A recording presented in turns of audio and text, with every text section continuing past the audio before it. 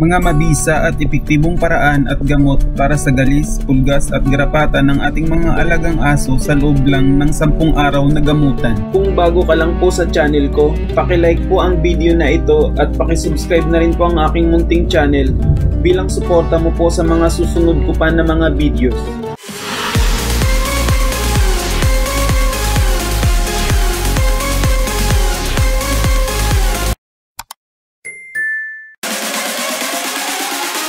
Bago po tayo magsimula, disclaimer lang po. Uh, hindi po ako licensed vet, wala po akong experience at hindi po ako nag-aral doon. Ito po ay based lang po sa experience po namin at kung ano pong ginawa namin para po ipagamot at gumaling po yung mga alaga po naming aso. Ito po yung tatlo naming mga aso. Ito po si Keeper. 5 uh, ah, years old na po siya Tsaka ito naman po si Paypay. Uh, wala pa po siyang 1 year old. At ito rin po yung isa, si Cooper. Uh, magsi 7 years old na po siya. Ito po yung aso namin na to na si Cooper ay ito po yung mahilig lumabas. At tsaka siya po yung unang nagkaroon ng galis. Ngayon po nahawa niya yung dalawa at nagkaroon na rin po sila ng mga pulgas na mahirap pong gamutin. So ang ginawa po namin ay dinala po namin sila sa vet. Tapos po yung vet ay nireseta lahat po ng gamot na yan na ipapakita ko po sa inyo dito sa video. Within 10 to 15 days, nagkaroon po ng improvement, gumaling po yung galis at nawala po yung mga garapata at saka yung mga pulgas ng aso po namin. Nga lang po kung nagtitipid po tayo dahil ang check-up po ay may, medyo may kamahalan, uh, pwede nyo na rin pong sundin yung mga gamot na nareseta po sa amin nung vet para po makatipid po tayo sa check-up. So, ito po yung mga gamot na pinabili sa amin ng vet. Una po sa mga gamot na ito ay yung cetirizine uh, para po mawala yung pangangati sa mga balat nila at uh, iwasan po nila yung pagkakamot para po magsanhi ng sugat. Hmm, pagka po yung aso po natin ay 1 year old pa lang po, less than 1 year old, uh, ina-advise po ng vet na kalahati lang po ng tablet na ito ang ibigay kada araw. And pagka po 1 year old and above na po yung aso, ina-advise po nila na isang buong tableta po ang ibigay kada araw.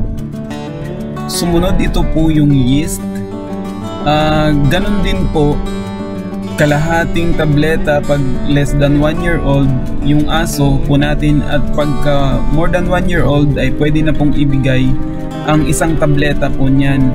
Yan po ay nabibili din po sa uh, vet clinic. Itong pangatlo po ay cefalexin. Uh, antibacterial po ito so ang dosage pag ang ating aso po ay less than 1 year old, uh, bibigyan po natin sila ng 3 ml kada araw and pag ang aso po ay more than 1 year old, 5 ml po kada araw. Ito pong pangapat ay herbal spray na napaka-epektibo po nito para tanggalin yung pulgas at garapata sa ating aso. Pagkatapos po maligo sa umaga, spray lang po natin sa katawan nila tapos hahayaan na lang po natin at wag na po nating banlawan. Yun po ang pinaka mabisa at epektibong paraan para gamitin ang spray po na ito para sa ating mga alagang aso. Lahat po ng nabanggit kong mga gamot ay kaya po nating bilhin sa butika para makatipid po tayo sa medyo mataas na presyo pagdating po sa pagpapacheck up at tsaka kung doon tayo sa vet bibili. Yung spray naman po pwede nating pwede tayong bumili online sa Shopee or Lazada. Meron po silang tinitinda noon na medyo mababa rin po ang presyo. After 10 to 15 days, magkakaroon na po yan ng improvement. So kung sa palagay nyo po ay hindi pa rin po nagkakaroon ng improvement after 10 to 15 days, uh, isasuggest ko na lang po na ipacheck po sa vet ang mga alaga natin pong aso kasi sila lang po ang makakapag-recommend kung ano po talaga ang dapat at tamang gamot para po sa mga sakit na meron po sila.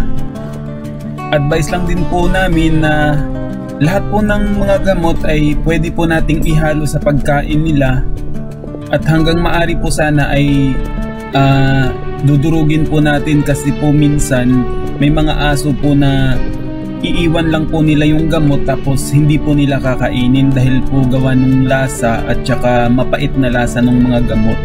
So ina-advise po namin at gaya po ng ginawa namin na dinudurog po namin yung mga gamot lahat po ng yan.